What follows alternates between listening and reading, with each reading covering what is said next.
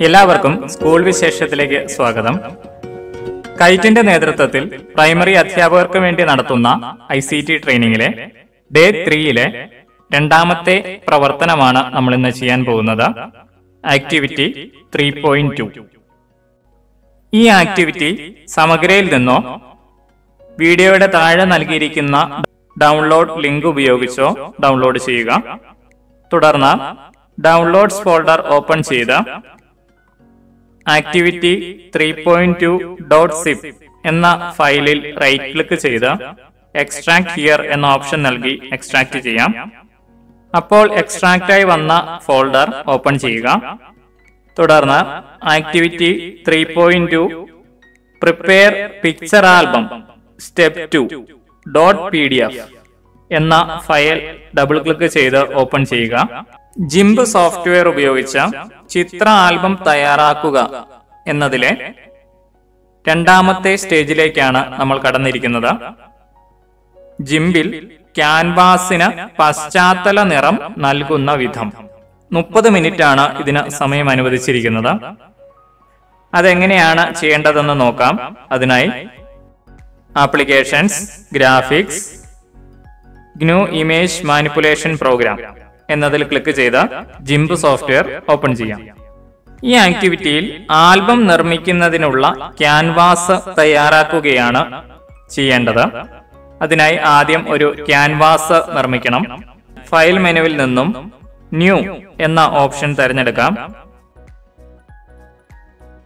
അപ്പോൾ വരുന്ന വിൻഡോയിലെ ഇമേജ് സൈസ് എന്നുള്ളതിൽ വിഡ്ത്ത് ആയിരത്തി ഇരുപത്തിനാല് എന്ന് ടൈപ്പ് ചെയ്ത് നൽകുക. അതുപോലെ ഹൈറ്റ് എഴുന്നൂറ്റി അറുപത്തി എട്ട് എന്നും നൽകുക. ആ അനുപാതത്തിലുള്ള ക്യാൻവാസ് ആണ് നിർമ്മിക്കേണ്ടത്. അതുകൂടാതെ മുകളിലുള്ള ടെംപ്ലേറ്റ് എന്ന ഓപ്ഷന് ക്ലിക്ക് ചെയ്തും ഈ വലിപ്പം സെലക്ട് ചെയ്യാവുന്നതാണ്. തുടർന്ന് ഓക്കെ ബട്ടൺ അമർത്തുക. ഇപ്പോൾ നമ്മുടെ ക്യാൻവാസ് ഇവിടെ സൃഷ്ടിക്കപ്പെട്ടിട്ടുണ്ട്. ഇനി ഈ ക്യാൻവാസിന് അനുയോജ്യമായ ഒരു നിറം നൽകണം. അതിനായി ഇടതുവശത്ത് കാണുന്ന ടൂൾ ബോക്സിൽ നിന്നും ബക്കറ്റ് ഫിൽ ടൂൾ എന്ന ടൂൾ തിരഞ്ഞെടുക്കുക. ഓരോ ടൂളിന്റെയും മുകളിൽ മൗസ് കൊണ്ടുവന്ന് വെച്ച് കഴിയുമ്പോൾ ആ ടൂളിന്റെ പേര് പ്രത്യക്ഷപ്പെടുന്നത് കാണാം. തുടർന്ന് ടൂൾ ബോക്സിന്റെ താഴെയായി കാണുന്ന രണ്ടു നിറങ്ങളിൽ കറുത്ത നിറത്തിൽ ക്ലിക്ക് ചെയ്യുക. അത് ഫോർഗ്രൗണ്ടും ബാക്ക്ഗ്രൗണ്ട് കളേഴ്സും നൽകുന്നതിനുള്ള ഓപ്ഷനാണ്. അതിൽ ആദ്യം കാണുന്ന കറുത്ത നിറം ഫോർഗ്രൗണ്ട് കളറും അതിന്റെ താഴെ കാണുന്ന വെളുത്ത നിറം ബാക്ക്ഗ്രൗണ്ട് കളറുമാണ് അതിൽ കറുത്ത നിറത്തിൽ ക്ലിക്ക് ചെയ്യുക. ഓപ്പണായി വരുന്ന വിൻഡോയിൽ ഇഷ്ടമുള്ള ഒരു നിറം സെലക്ട് ചെയ്യുക. അപ്പോൾ അതിന്റെ ഇടതുവശത്തെ സ്ക്രീനിൽ അതിന്റെ ലൈറ്റ് കളർ മുതൽ ഡാർക്ക് കളർ വരെ വരുന്നത് കാണാം. അതിൽ നിന്നും ഉചിതമായ നിറം തിരഞ്ഞെടുക്കണം. അപ്പോഴേ തൊട്ട് താഴെ കറന്റ് എന്ന് എഴുതിയിരിക്കുന്നതിൽ ആ നിറം വരികയുള്ളൂ. തുടർന്ന് ഓക്കെ ബട്ടൺ അമർത്താം. ഇപ്പോൾ ഫോർഗ്രൗണ്ട് കളറായി നീല അവിടെ വന്നിരിക്കുന്നത് കാണാം. തുടർന്ന് ക്യാൻവാസിൽ കൊണ്ടുവന്ന് മൗസിന്റെ ഇടത് കിളക്ക് ഒന്ന് അമർത്തുക. അപ്പോൾ ആ നീല നിറം ക്യാൻവാസിന് മുഴുവനായി വരുന്നത് കാണാം. ബക്കറ്റ് ടൂൾ ഉപയോഗിച്ച് ക്യാൻവാസിന് ഒറ്റ നിറം മാത്രമേ നൽകാൻ സാധിക്കുകയുള്ളൂ. നമുക്കിവിടെ മറ്റൊരു ടൂൾ ഉപയോഗിച്ച് ഈ ക്യാൻവാസിന് രണ്ട് നിറങ്ങൾ മിക്സ് ചെയ്ത് നൽകണം. അതെങ്ങനെയാണെന്ന് നോക്കാം. അതിനായി ടൂൾ ബോക്സിൽ നിന്നും ബക്കറ്റ് ടൂളിന്റെ തൊട്ടടുത്ത് കിടക്കുന്ന ബ്ലെൻഡ് ടൂൾ സെലക്ട് ചെയ്യാം. തുടർന്ന് ടൂൾ ബോക്സിന്റെ താഴെ നമ്മൾ ഫോർഗ്രൗണ്ട് കളർ സെലക്ട് ചെയ്ത് വെച്ചിട്ടുണ്ട്. അതുകൂടാതെ ബാക്ക്ഗ്രൗണ്ട് കളർ കൂടി തിരഞ്ഞെടുക്കണം. അതിനായി തൊട്ട് താഴെ കൊടുത്തിരിക്കുന്ന വെള്ള നിറത്തിൽ ക്ലിക്ക് ചെയ്യുക.